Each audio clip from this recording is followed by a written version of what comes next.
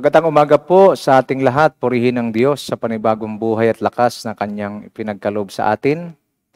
Una sa higit sa lahat, nagpapasalamat tayo sa Panginoon sa walang hanggang kabutihan, walang hanggang pagpapala na kanyang pinagkalob sa atin. Still, we are experiencing the miracle of life. So there is a miracle that God uh, did to each one of us every time we wake up in the morning. So purihin din ng Panginoon sa pagkakataon na pinagkalob niya sa atin. Tayo po'y pinili ng Diyos. Every time I uh, read the Bible, especially specifically in the book of John chapter 15 verse 16, napakalinaw, hindi kayo ang pumili sa akin, kundi akong pumili sa inyo upang kayo ay mamunga ng sagana at mananatili ang inyong mga bunga. To be chosen by the King of Kings and the Lord of Lords is a wonderful privilege. I think higit pa ito sa sapat or higit pa ito sa lahat ng pangailangan natin. Because to be chosen by the King is a great and wonderful privilege. Not just chosen, but be becoming a vessel to be used for the advancement of His kingdom on earth. This is who we are, my friends, my brothers and sisters in Christ. That is why the devil is trying to downgrade our position, downgrade the selection na ginawa ng Diyos sa atin sa papanong paraan sa pamamagitan ng mga pangangailangan, mga problema. Which is, kung titingnan natin, ang lahat ng problema natin sa libutan, ito ay walang kabuluhan sa harapan ng Diyos. Ang buong mundo ay sa Diyos at lahat ng naroon, pati tayo. We belong to God. And God knows how to provide our needs. Tama pa ang Panginoon sa John 8.32. You shall know the truth, and the truth will set you free. Knowing the truth is simply listening, meditating, and applying it in our lives. That's the only way para tayo po ay mapagpala. The only works of the enemy is to steal, to kill, and to destroy. The devil wants our lives to be ruined. That is why he's trying everything that he can do. At lagi niyang tandaan, we were spirit being, ano, 'di ba? Na pag-aralan natin ng mga nakaraan, as a spirit man, we need to be mindful of the spiritual things. Kasi ito po talagang origin natin eh. Whether you like it or not, marami ho mga tao itinaya ang kanilang espiritu kapalit ng mga walang kabuluhang bagay sa laman. Mga, mga sinatawag nilang uh, material at pinansyal na pagpapala. Hindi po masama ito.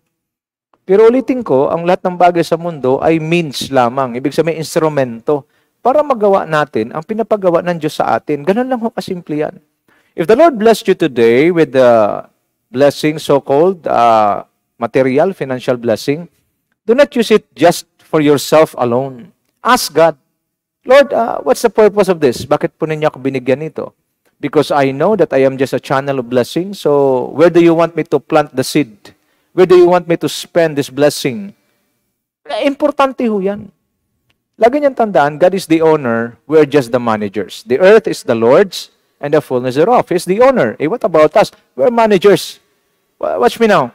God is seeking for faithful, God is seeking for good, and God is seeking for effective managers. So if we can pass the test, or we will pass the test, na binigay sa atin ng Panginoon, paano bang testing? God bless us so much. And then after the ma-bless niya tayo, anong kasunod? Anong gagawin natin sa mga so-called blessings na binigay sa atin? Materially, uh, financially speaking. We should know what to do. If you want to receive greater blessings from God or big blessings from the Lord, you should know what to do. Hindi mahirap bigyan ka ng Diyos ng isang milyon ngayon kasi hindi mo alam ang gagawin mo. Baka you will just spend it all alone to yourself. And eh, that is tragic yan pag ganyan. So, ibig sabihin, you're not a good steward. You're not a good steward or a good manager. So God will look for another one. This is my challenge for all of us, mga kapatid. We are spirit beings, so we should be mindful of spiritual things. So while we are here on earth, temporarily, agree? Temporary lang tayo rito sa mundo. Actually, tawagan ni Pedro sa atin, mga foreigners. Pag sinasabing foreigners, para maunawaan ho natin, meron tayong mga kababayan na nandoon sa ibang bansa. Ang tawag sa kanila roon, foreigners. They are not called native doon sa kanilang pinuntahan na bayan. Sila ho ay mga foreigners. And a foreigner has a has an origin country. May pinanggalingang bansa. Sa mga Pinoy sila, mga Pilipino, nasa ibang bansa, tawag sa kanila foreigner. Maging ang mga Amerikano, pag napunta sa atin dito, tawag na sa kanila foreigner. They don't belong here. They just visit, visiting here.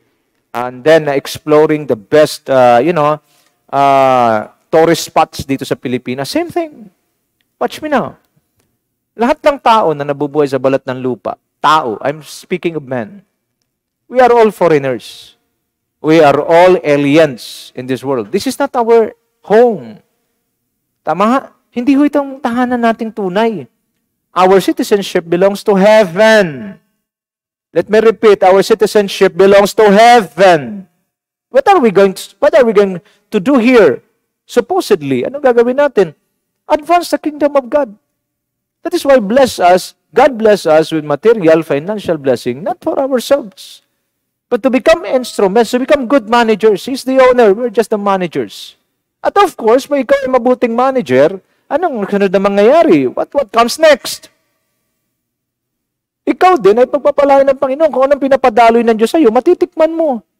Kung mayroon mang una nakakatikim sa lamig ng ulan o ng tubig ulan, walang iba kundi alulod. Bago ito babagsak sa drum na kanyang pagsusuplayan. Malinaw mo? You will be the first recipient of the blessings of God. You will always taste and see that the Lord is good. You will always taste and see that the faithfulness of God is endures forever. Kaya eh, ang gusto ng iba kasi, kaya nagiging na-disqualify sa pagiging channel of blessing. Why? Because the moment they receive the blessing, they just keep it for themselves. Use it for themselves. Spend it for themselves. That's wrong. You disqualify yourself. But the moment you receive the blessings and you know where to, you know, plant those seeds, share those blessings, specifically in the advancement of God's kingdom, doon tayo nagkakaroon ng advantage. At pag nakita ito ng Diyos, tayo gagamitin ng Panginoon na maging daluyan ng pagpapala. Again, we are all aliens here. We are just foreigners in this world. Yes, pwede yung lupa na nakuha mo nakapangalan sa iyo. Dapat lang naman para hindi ho magkagulo. Pero at the end of the day, the moment you die, you will leave everything. Wala pa ako nakita na tao na inilibing maging ang kanyang ari-ari ang kasama niyang inilibing. Inilibing lang ang kanyang maliit na katawan. Yung iba nga, sinusunog. 5'10 ang height. Pag sinunog, isang earn lang ang kanyang buong katawan. Nagkakanawan tayo. So I'm just showing you, mga kapatid, what is really important. What is essential? The essential thing is none other than the things of God and God Himself. God is the giver of life. He is the source of life. Therefore, God is life. And when He breathed the breath of life, when He breathed the breath of life into the nostrils of Adam, Adam became a living soul. Tsaka lang nabuhay ang tao nung hiningahan ng Diyos. Therefore, yung dala-dala natin buhay ngayon, galing sa Diyos, spiritually speaking. But we also have given a life in the flesh temporarily. Wala pa ako nakitang taong umugat sa mundo. Lahat na mamatay. That is why every time we wake up in the morning, let us give thanks to the Lord. Wag lang yan, thank you, Lord. That's too cheap to acknowledge the goodness of God. Nabuhay tayo kanina. Pagising natin, buhay na buhay tayo. Ano gagawin natin? Give thanks to the Lord. Give God the glory. Give God the honor. Yung tunay na pasasalamat talaga. Yung para bang mamamatay ka na tapos na-save ka, di ba? Grabe, grabe pasasalamat mo. Talagang sobra-sobra. Ba't di natin yung ginagawa? Bakit pagdating sa Diyos, di natin ginagawa? Because we're too much familiar. Akala natin, kita tayo bukas ha, alas, alas 8 ha, ganun ha. Para bang we just, we manage our lives as if we're the owner. Nakalimutan natin, ang buhay natin, hiram lang natin sa Diyos. Be mindful of that. Hiram sa Diyos ang aking buhay. Buhay mo, hiram mo rin sa Diyos yan. Who is the owner of your life? God. Spend it, use it for His glory, then He will give you long and satisfied life. But if you will just use it for your own interest, you will just use it for your own convenience, what's the purpose? Para pahabain. See? Kung makasabi tayo sa mga kausap natin, kita tayo bukas alas 8 ha. Who told you? Sino sabi magising ka bukas ang alas 8? Because the Lord is gracious. He is good. Binigyan ka niya pagkakataon magising. Pero kung ayaw na ng Diyos, pilitin mo mang gumising, hindi ka na magigising. Bakit? Kinuha niya na yung pahiram na buhay. Oh, watch me now, para mas maintindihan. Halimbawa, si Pastora Beth, manghiram sa akin ng laptop. Sabi niya, Pastor, pero pa akong laptop, gagamitin ko 3 months. Sabi ko, sige, pero hindi ko naman ginagamit. Iramin mo muna, Pastora. Pero pagdating ng after a month, kakailanganin kong computer. Are you listening? Kakailanganin ko. Sino ba may-ari? Di ba ako? Tatawagan ko si Pastor Beth. Pastor Beth, uh, kailangan ko ng computer. After a month, kailanganin ko bigla. May magagawa pa si Pastor Beth? Answer me. Meron, wala? Wala. Because that's mine. It's mine. I have all the right na ililend dito sa iba or kukunin ko bigla. Yes, ang usapan namin, three months. Pero ako na nangailangan eh. And that's mine. So I need to get it from her. Malinaw na. Pero si Pastor Robert, gusto, gusto niya three months pa. Eh wala na siya magagawa because he's not the owner. Same thing with our lives. Gusto natin mabuhay na matagal? Gusto natin mabuhay na talagang uh, abutin tayo ng 80, 90. Gusto mo yan. Ang tanong, gusto ba ng Diyos? Now, I'm telling you today, if you want to live long, you want to live a prosperous and a satisfied life, use your life for God. Use your life for God and His purposes and plans. That's the only way ma-extend ang buhay mo. Pangalawa, submit to the authority that God had given you. Children, obey your parents in the Lord, for this is good, this is what is right and you will live long and prosperous life. These are the, what the Bible, these are the recommendations of, from the Bible na dapat gawin natin. Akala natin makukuha sa pa-vitamins, vitamins. Akala makukuha sa pa-jogging-jogging. Marami nakita nag-jogging. Sa amin sa probinsya, nag-jogging. May pasok pa siya sa umaga, biglang naligo. Patay. My friends, live as aliens or foreigners in this world. This is not our home. But be a channel of blessings by God. Be a good manager of His resources. And be a kingdom advancer so that God will prolong your life and use it mightily for His glory. Yan lang ang tanging layunin ng isang tao sa kanyang existence dito sa lupa. Now, paano naman ako sa sarili ko? Ulitin ko, pagpatak ng ulan sa bubong, pagbabagsak ito sa alulod, at unang makatikim ang alulod sa lamig at presko ng ulan. Sa kanya ito ibabagsak sa drum na nakatutok sa kanya. Nasasahod sa kanya. Malinaw ho pagbagsak ng blessing ng Lord sa iyo para sa iba, sa iyo muna unang tatamat, imposibleng hindi ka mababasa. Imposibleng hindi ka makakatikim. Pero hindi mo pinipigil ang pagpapala dahil alam mo na hindi yun lahat para sa iyo. Matitikman mo, pero ikaw dapat ay merong free hand. You have the desire to release it anytime, anywhere. Andiyan ba si Shane, di ba? Sinabi ko, kung bibigyan ka lalo ng 5 million, yung para sa 5 million, 50,000 lang sa'yo. Are you willing to release? The 4 million, 945,000?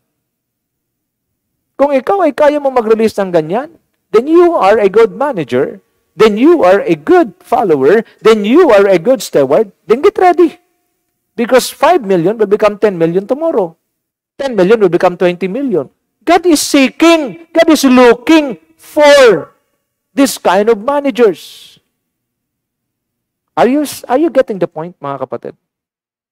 We should be good managers of our lives, of our time, of everything we do.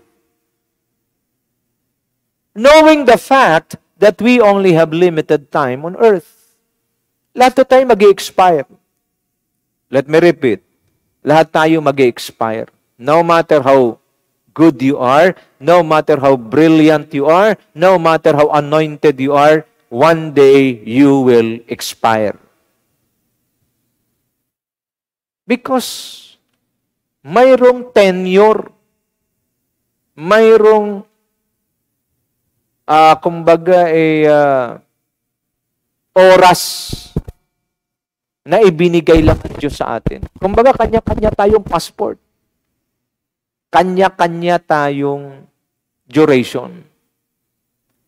If you will just listen carefully to this message, you will do what is important and essential in the eyes of God.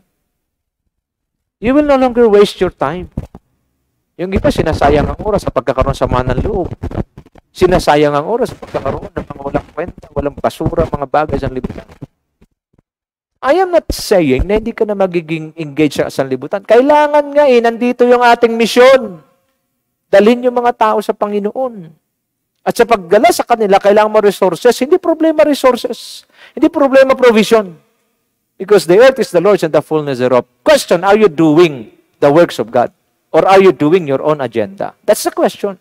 You need to answer that question today. Are you living for God or living for yourself? Are you living for God or you're just living for your family? Are you living for God or are you just living for your dreams? Answer that. And then be honest enough, be man enough, be woman enough. Na kung mali, magbago. Kung mali, magrepent. Kung mali, magrepent pagkatapos sumunod na sa Diyos. Dahil pinag-usapan natin noong nakaraang Saturday, Bayad na tayo. Redeemed na tayo. Tinubos na tayo. Sinong tumubos? Siya na may-ari. Itong buhay na to, kay Kristo na to, kaya kung gagamitin man to, may gagawin man to para sa kapurihan ni Kristo, kaluwalhatian ni Kristo, kaluguran ni Kristo, period. Eh, what about my existence on earth? Na, hindi mo na problema yan. Diyos na bahala dyan. That is why people who are committed to God, God made a way for them. People are committed to God. People is the one, uh, God is the one providing for them. Eh, magtataka kayo eh. Dati ang hirap-hirap, pero ngayon, ang yaman-yaman na. Bakit? Eh, tanungin mo sikreto. Mananampalataya, tinutukoy ko ha. Tanungin mo sikreto. Sagot nila, katapatan ng Diyos, tunay at dakila. Naglilingkod ako sa Diyos. God is able to bless us beyond what we can ask or imagine. Mark that word. Ulitin ko ha.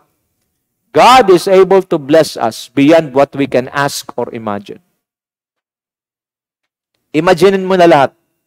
Higit pa dyan ang kayang ibigay ng Diyos sa iyo. Hilingin mo na lahat. Higit pa dyan ang kayang ibigay ng Diyos sa iyo. Ganito kabuti ang Diyos. But kailangan natin ng isang man, mga ngaral na magbubukas talaga ng ating puso't kaisipan. Ang sabi ni Pablo sa ay, uh, ah, 1 Corinthians 15, kung ang pag-asa mo kay Kristo ay sa mundong ito lamang, ikaw na ang pinakakawawang tao na nabuhay sa balat ng lupa. You can just imagine that. Very strong message.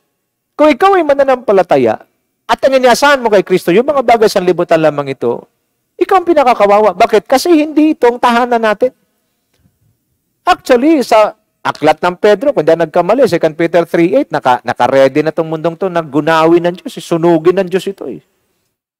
And then, dito ka mag-invest ng iyong pag-asa. Kaya si Lord malinaw eh. Huwag kayo mag-ipon ng kayamanan, kayamanan dito sa lupa. Kung saan mayroong mga insekto, tanga, kalawang, mga magdanakaw na makukuha ito sa iyo. Mag bagkos, mag-ipon kayo ng kayamanan. Saan? Sa langit. Dahil doon, walang insekto, walang tanga, walang kalawang, at wala. Higit sa lahat, walang magnanakaw dahil walang magnanakaw makapasok sa langit eh. The message of God today is all about setting our right priority in life. Kailangan kapatid, magdesisyon ka na ngayon. Ano ba unahin ko? Diyos at mga bagay, salitaan ng Diyos? O yung sarili kong pangarap? O yung lahat ng gugustuhin ko pa sa buhay? And then tayo, pagka sumab- sumablay na, sumemplang na, tsaka tatawag sa Diyos. During our planning stage, hindi si Lord, hindi si, hindi si Lord kasali. Pag in-implement natin yung ating limited, contaminated na plano, pag sumablay, Diyos ko! O, kita nyo. Bakit na isali ang Diyos? Ganun ang tao eh. Mga kapatid, please. Hindi na tayo mga bata. We should know what to do. At the planning stage, involve God.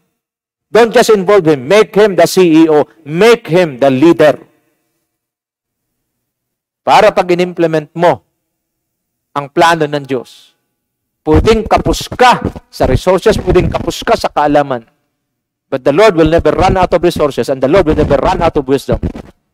That is why, pag in-implement mo na, tiyak ang tagumpay dahil Diyos ay kasama. Amen? Palapakan natin si Lord. Glory to God. Malinaw ho? Be a good steward. We are not owners. We are just managers.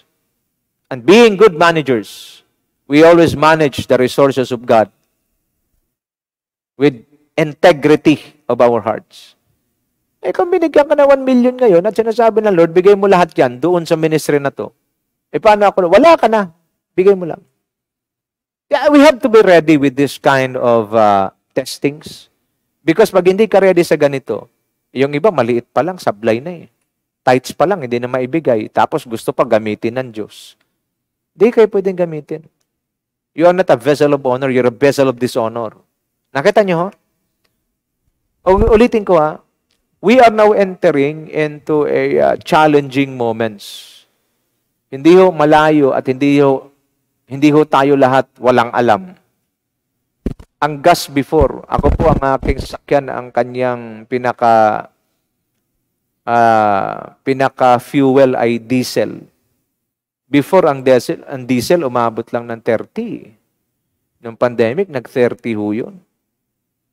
Ngayon, purihin ang Diyos. Ibang klase ngayon. 80 plus, meron iba 90 plus, sa ibang lugar 100 na. You can just imagine gaano kalaki, ilang daang porsyento ang ini iniangat. Okay? Kung sabihin natin 90, tumaas siya ng 200%. You can just imagine. Ano po yan eh? Kumbaga, eh, domino effect. Pag tumaas ho ang fuel, ang petrolyo, automatic tataas ang mga bilihin. Palaging ano yan eh, kumbaga eh, sa equila, eh, kumbaga yung sa law, kumbaga yung equilibrium ng tinatawag nila, eh, talagang sumasabay. Eh. Pag galaw na sa taas, gagalaw din to sa baba. Ang question ngayon, paano ngayon itong mga tao? Kita nyo? Ang mga walang trabaho ay talagang lalong mahihirapan. Ano lang ibig kong sabihin? It had been prophesied already in Matthew 24. There will be famine in, in other places. Ano ang gagawin mo bilang mananampalataya? Ngayon pa lang, ready ka na. Anong i-ready ko, Pastor? I-ready mo ang iyong pananampalataya sa Diyos. Take care of your personal relationship with God. Kung mayroon ka mang ayusin, connection mo sa Diyos. Huwag mong itablahin palagi ang Diyos. Ayan, salitang ano na yan, pang, pang street na yan. Pag sabihin tinatabla mo ang Diyos, ibig sabihin, hindi mo talaga siya priority. Pagka dumating ang pagpipilian, Diyos at saka yung makasanlibutan, makasanlibutan pinipili mo, tigil mo na yan. Because that will kill you and that will destroy you. Katulad ngayong umaga, Saturday, ano, nahin mo, nahin mo Diyos. Nagkakaunawan tayo unahin mo ang Diyos. Kasi wala ka ibang pwedeng sandalan sa oras ng kagipitan. Hindi aatras at hindi kailanman uurong. Ito'y walang iba kundi ang Diyos na dakila. Malinaw, mga kapatid. Kaya, ito na yung tamang panahon. Huwag nating ilagay ang Diyos sa hulihan. Palaging nasa unahan. Put God first. Because at the end of the day, lahat ng sinasandalan ng tao maliban sa Diyos, guguho lahat yan. Ulitin ko, lahat ng sinasandalan ng tao maliban sa Diyos, guguho lahat yan. Magiging luhaan ang marami. Yung walang oras sa Diyos, hindi nakikinig ng salita ng Diyos, ano man ang sinasandalan mo at inaasahan mo, guguho lahat yan. Why? Because there is no one who is stable, who is powerful, who is unshakable, is none other than God. And how can we stand with God through His Word? Sana ito po ay naging malinaw sa buhay ng bawat isa sa atin. Be a good steward of your time, of your talent, of your life. Manage your life well. Na sa lahat ng ginagawa natin, bawat kilos natin, Diyos ang napaparangalan. Ganun lang siya kasimple. Yes, hindi tayo makaiwas. There are little foxes, tawag ko dyan, mga little sins, little foxes. Sa mga buhay natin, minsan naiisan tayo, pero huwag natin hayaan na magpapatuloy yan. After this message, pause for a while and then evaluate. Ano ba sa buhay kong walang kwenta, basura? Dapat alisin yan. Hindi tayo nagdadala ng basura sa buhay natin. Ang dinadala natin, mga salit, ang salita ng Diyos, dinadala natin ang kalooban ng Diyos, dinadala natin ang pagmamahal ng Diyos. Are you getting the point? At the end of the day, we will leave the earth. We will leave this earth, whether you like it or not. Itong mga mayayaman na ito, itong gahaman yung iba, eh, iiwanan rin nila lahat eh. Ang problema, ito, haharap tayo sa Diyos para magsulit sa lahat ng ginagawa natin. Paano mo harapin ang Diyos ngayon? Kung nakikinig ka sa akin, wala ka nang inatupag, kundi pansarili mo lang kapakanan. Wala ka nang inatupag, kundi mga bagay na material dito sa lupa. How are you going to face God? Tell me.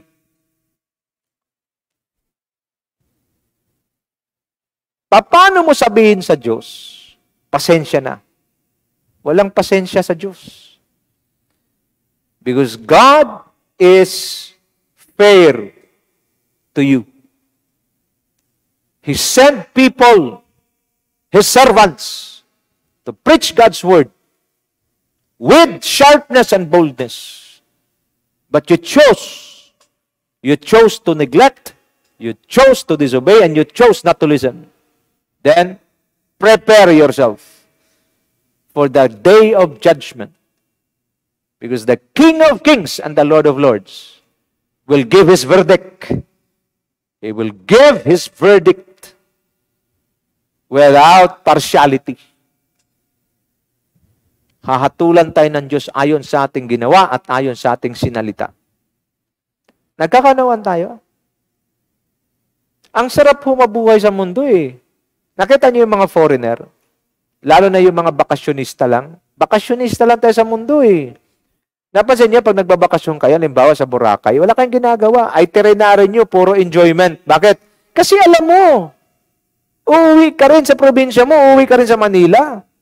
Kaya nga pagdating sa Boracay, pag mayroong problema, huwag naman natin intindihin niya, mag-enjoy muna tayo. Bakit? Kasi uwi rin tayo. Di ba? Bigla may tumawag, may problema rito sa trabaho. Tsaka na, nandito ako sa bakasyon, pag uwi ko na lang harapin yan. Nakita nyo? Nakita nyo ba? Gusto na Lord, mag-enjoy tayo sa ating bakasyon dito sa lupa. Baliktad eh. Ang asal natin, parang taga rito na tayo. Ang asal natin, parang hindi na kristyano, hindi na taga-langit, taga-lupa na eh. That is why we fight for a... Ang temporal things, we fight for it. To the extent na we are already creating havoc. We're already creating chaos in the lives of other people. Just to have this piece of, you know, stuff na dito sa lupa. Marami ho yan eh. Mga bagay-bagay, mga anik-anik sa lupa, itong tawagin ko, mga anik-anik lang yan eh. Pero we need to understand ano ang dapat nating gagawin? Ano ang dapat nating unahin? Diyos! Mga bagay ng Diyos, salita ng Diyos, kaluguran ng Diyos, ito ang inuuna natin. Because the moment we do things for God, then God will be the one to provide, to protect, to deliver us from all challenges in life. Pag tumaas ito ng tuloy-tuloy, God forbid, wag naman. It will affect many lives. Malinaw? And even the lives of so-called believers of Christ. who have no time to listen to His Word, who chose not to listen and chose not to obey, they will be the first casualties.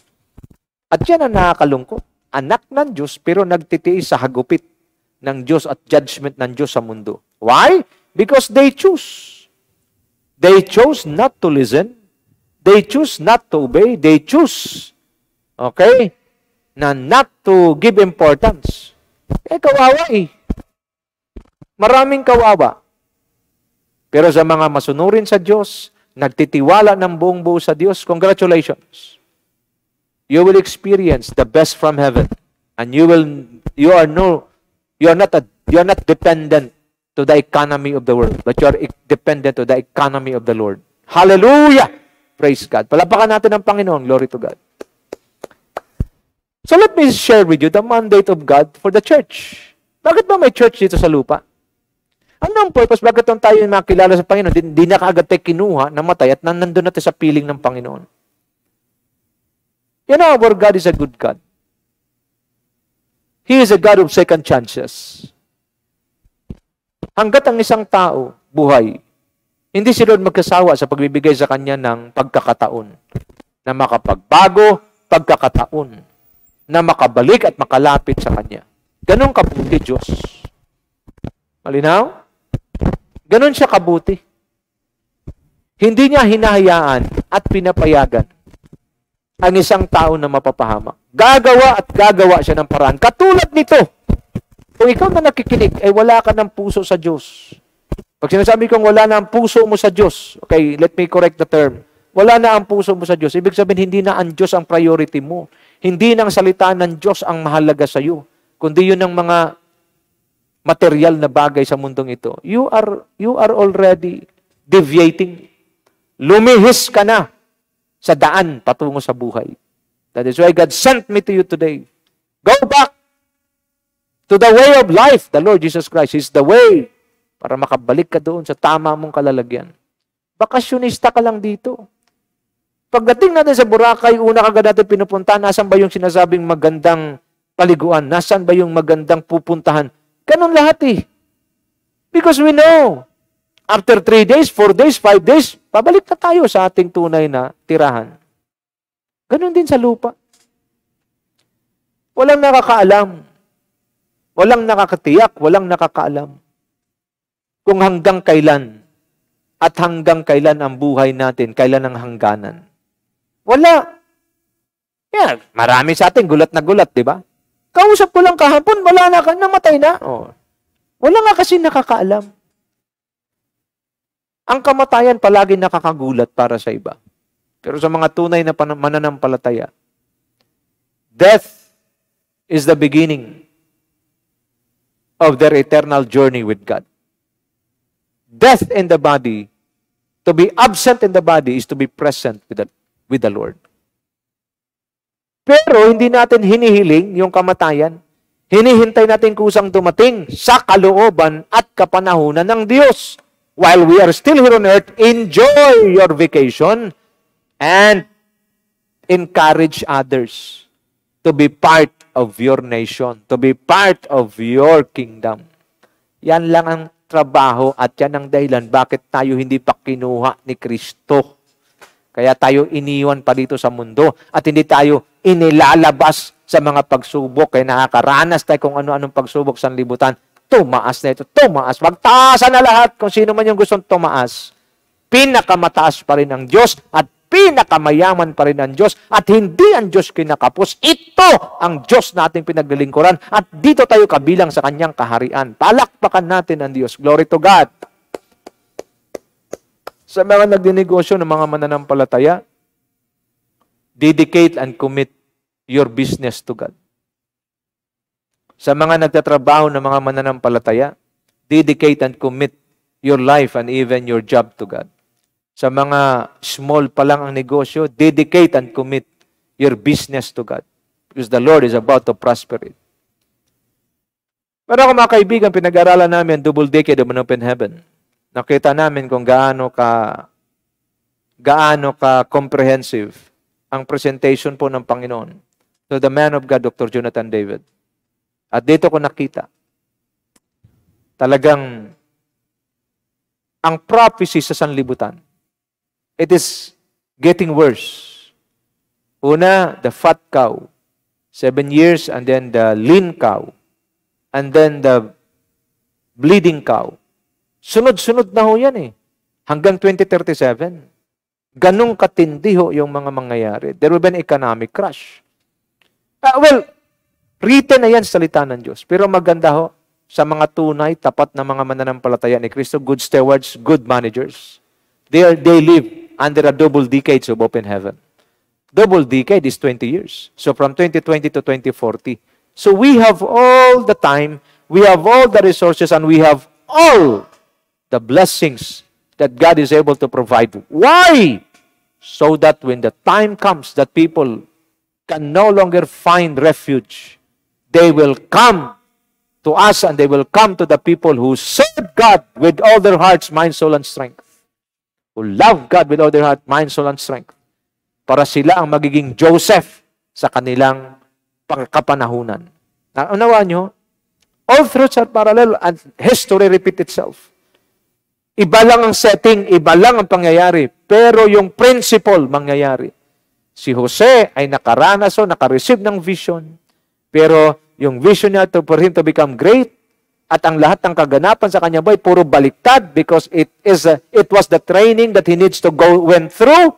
But after the training, graduation day, God put him and placed him in the palace because not just to become famous, but he was placed by God in the palace because he is the right person, he's the right man who will going to become a channel of blessings for the salvation of the whole world from famine. Malinaw? Ganon din ang mangyayari sa ating mansa, sa buong mundo. God is seeking for Josephs in our days. Are you the, are you the Joseph in our days? I pray that God will use us all to become the Josephs in our days. But Joseph did not directly, automatically sit at the throne or sat at the throne next to Pharaoh. He went through lots of difficulties. He went through lots, lots of trainings, lots of discipline, lots of things that will prepare him to become the governor of Egypt. Makinig kayo mga kapatid. Kung tayo ho ay nasa pagsubok ngayon, sapat ang biyaya ng Diyos upang tayo ay tulungan na magtagumpay. Ang biyaya ng Diyos o grasya ng Diyos, higit sa sapat para magtagumpay tayo. Amen?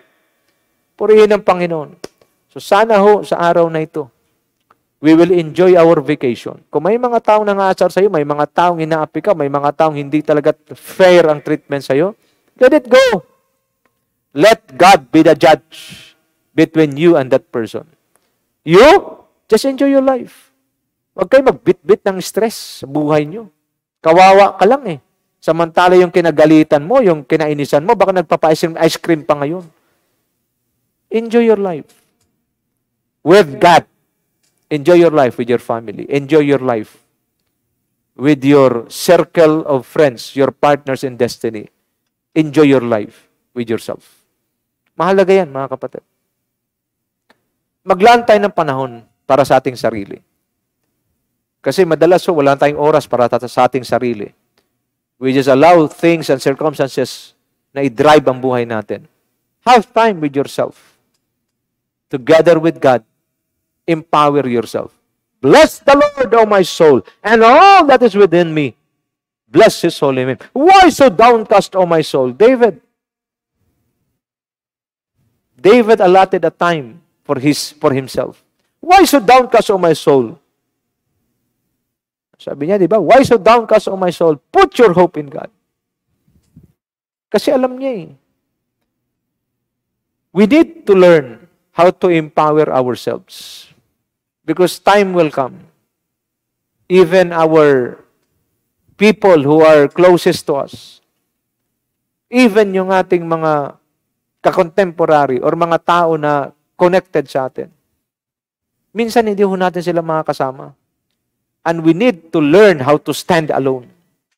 I'm not saying that you will isolate yourself, but need to stand alone, need to fight alone, need.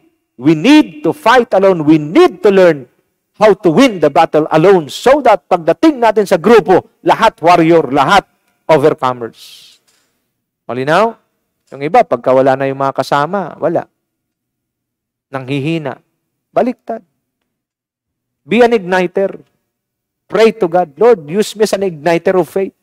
Use me, Father God, na magiging vessel para paapuyin, paglagablabin yung pananampalataya ng iba.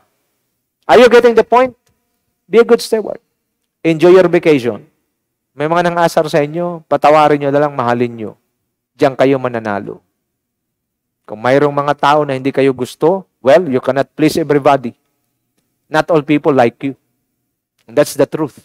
Even the Lord Jesus Christ in His goodness, perfect goodness, perfect lover, perfect lover of our soul, perfect physician, still may mayroon pa rin naiinis sa kanya. Eh. Hindi basa-basa pa mga tao, mga pareseo at pa. See? Hindi lahat. That is why pleasing others and then forgetting yourself is a tragedy. Do not live for the assumption and do not live for the, you know, for the ano bang tawag dyan? Do not live sa mga sa perception according to the perception of others. Live according to what God wants you to do. That is destiny. Malinaw? Sana malinaw sa atin to. The things of this world should be easy for us to let go. Opportunities, pag lumampas, hayaan na. Huwag nang iyakan. Malinaw? Tao.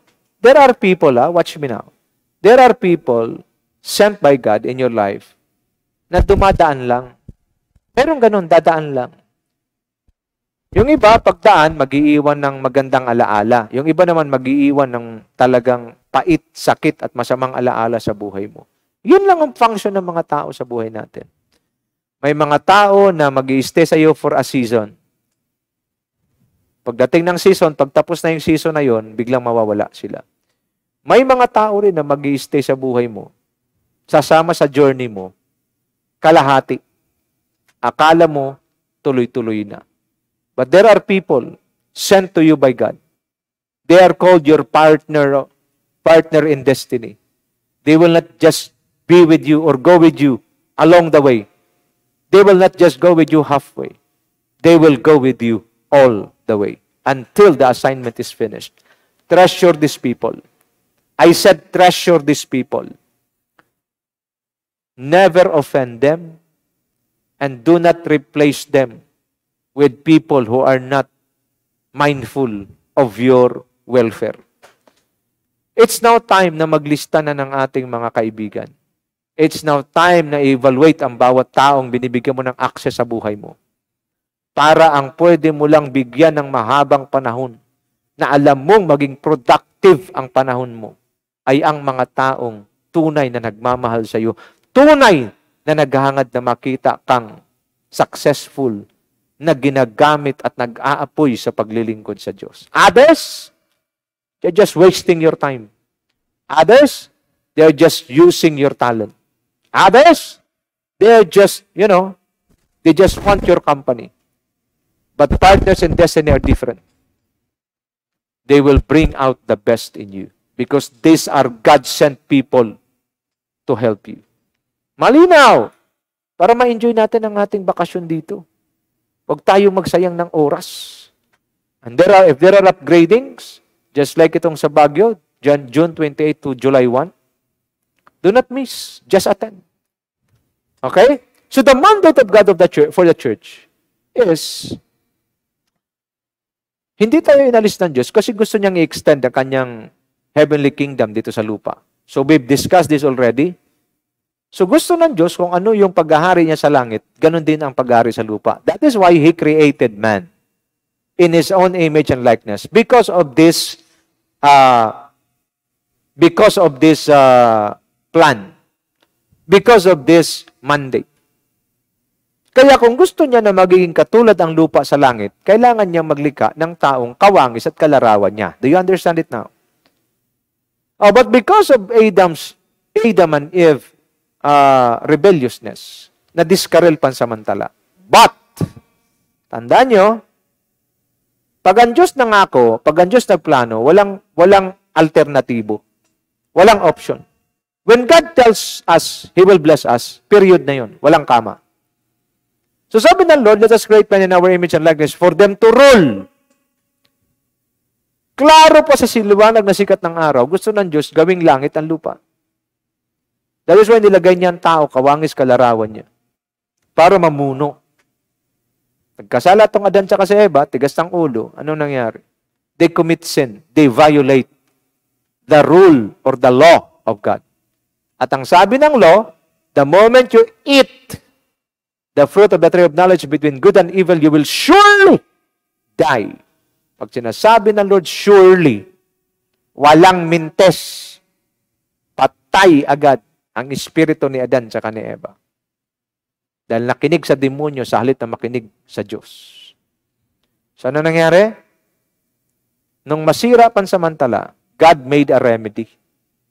He sent His Son and binigyan ng laman, dugo, at saka buto para magiging source ng kaligtasan ng lahat ng tao anuman ang kanyang kalalagayan sa lipunan dakila man o hamak, hari man o simpleng tao.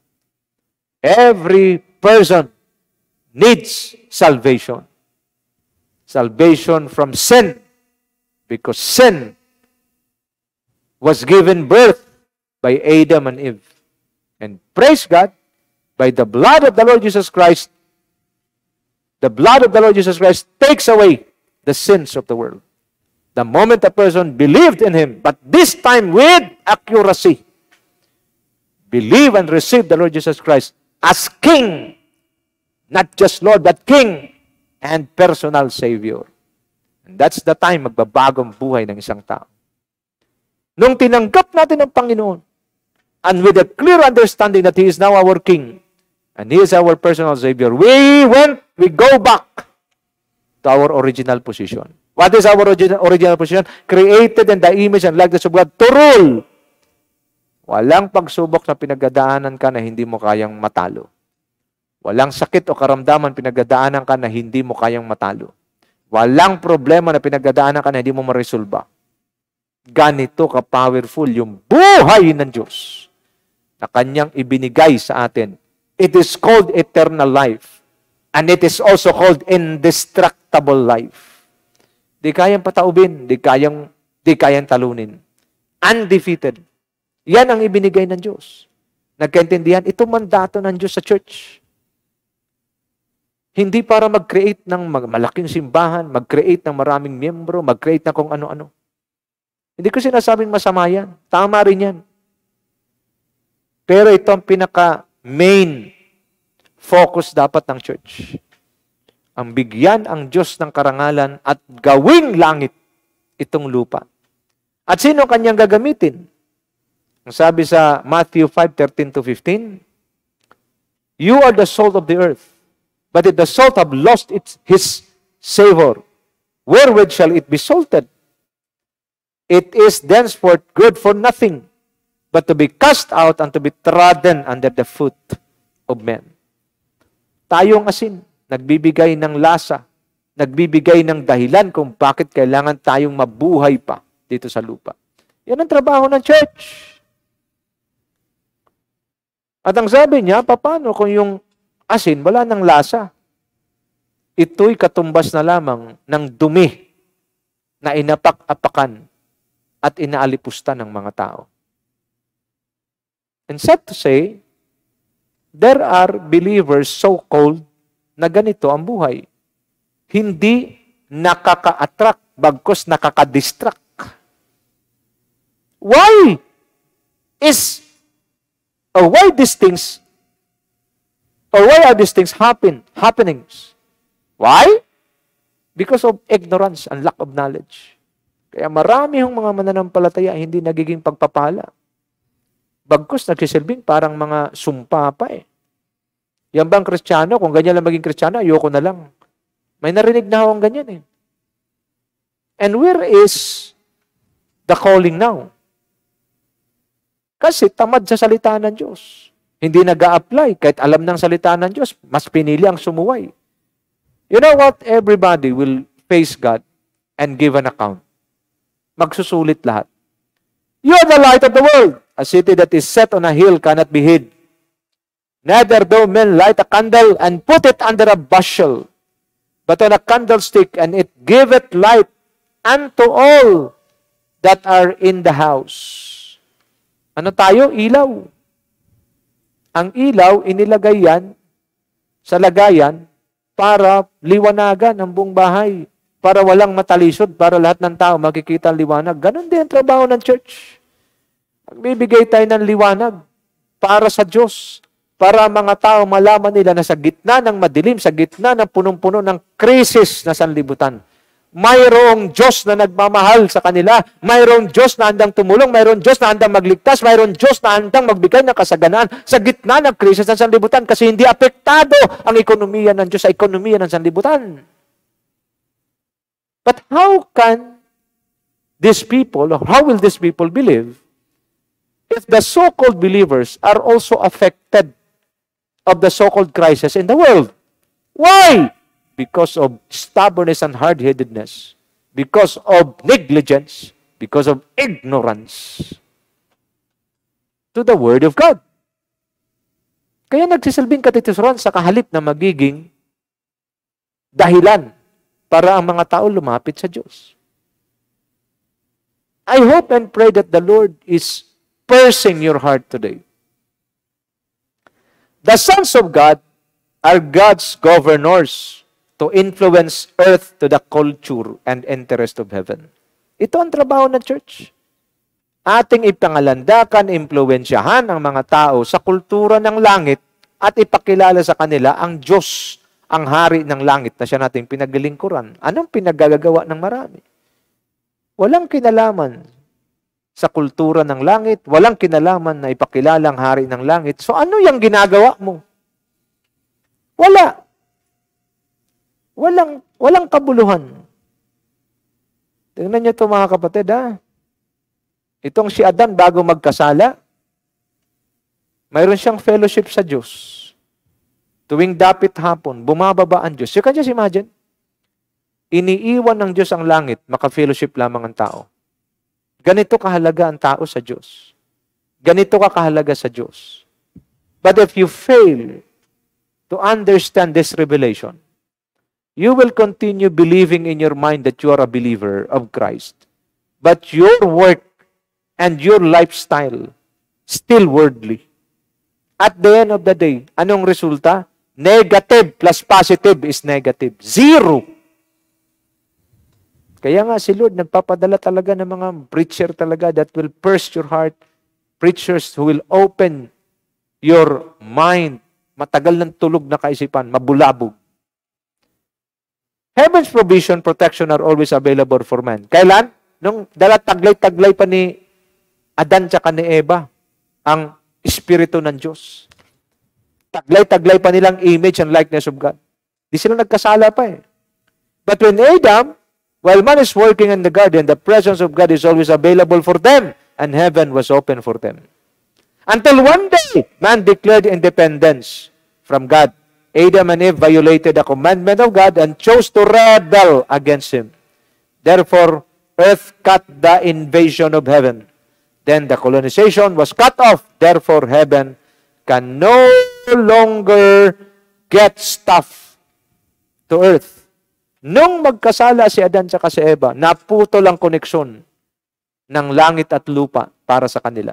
Kaya hindi na makapag-deliver ang langit ng mga magagandang bagay sa lupa dahil pinutol ni Adan at ni Eva ang koneksyon. Hindi ang Diyos ang pumutol. Ang taong makulit, matigas ang ulo ang pumutol. At ganun din sa kasaysayan natin ngayon.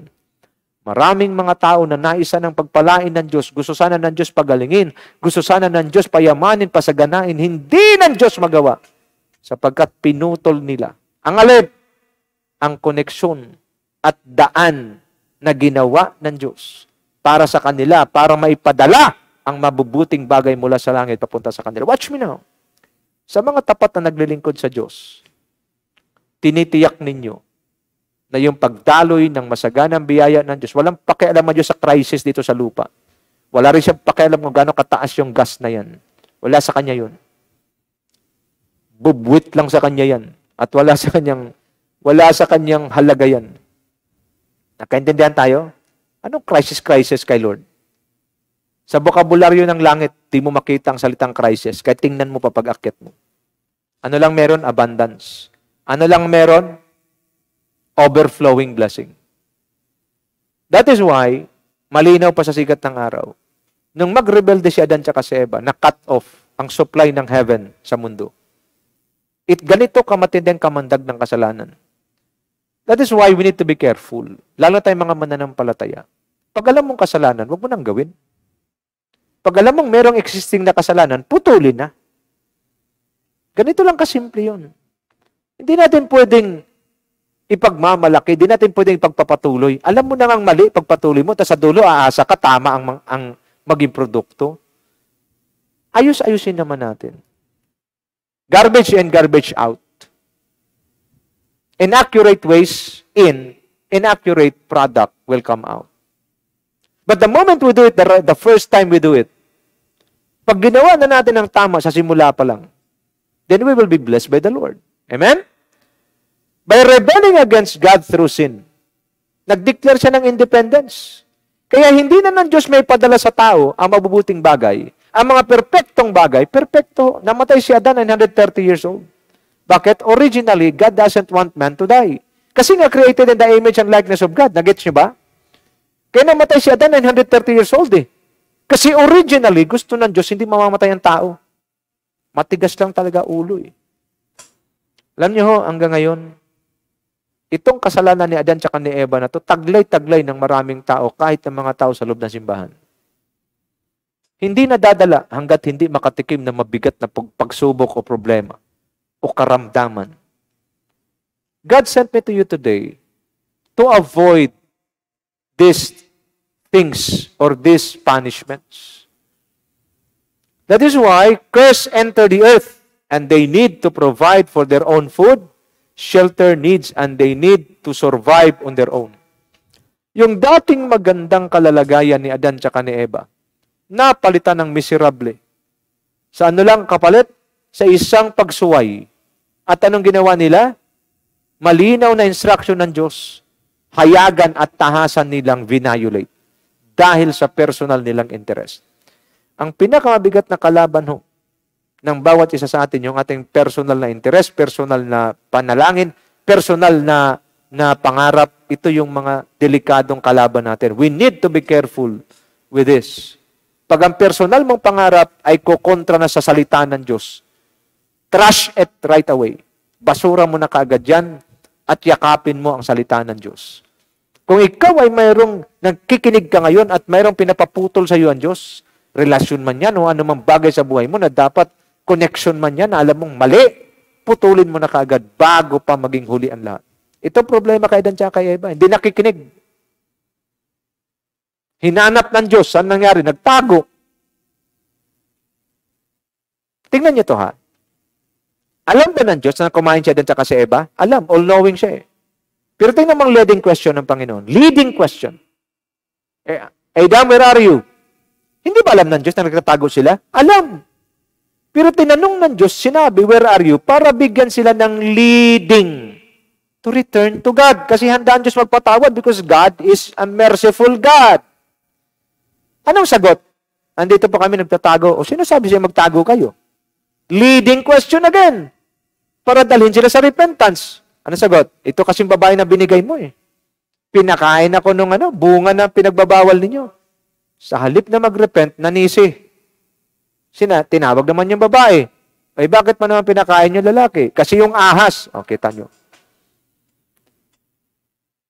Mga kapatid, tong ganitong ugali, pag meron kayo nito, it is a kind of attitude influenced by the devil. Sa halip na i-admit mong pagkakamali mo, naninisi ka pa ng iba, at itong ginagawa, silang ginagawa mong sangkalan, kahit ano pang gawin mong sangkalan sa iba, ikaw pa rin ang responsable at mananagot sa iyong mga ginagawang kamangmangan at pagkakasala. It will not be charged to others. It's you. Malinaw? Ayusin na natin.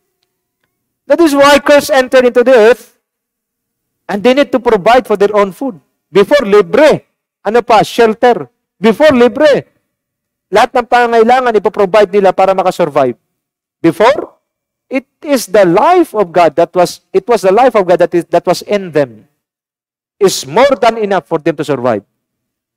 Sa buhay, sa panahon natin ngayon, the moment we violate the word of God or the law of God, and do not listen and obey His word, you disconnect or cut off the rulership of heaven over your life on earth. God will not operate in your life and cannot release the best and perfect blessing to you. Gusto na Diyos i-release yung perfect blessing because everything that comes from God are perfect to prove to you. James 1.17, New International Version.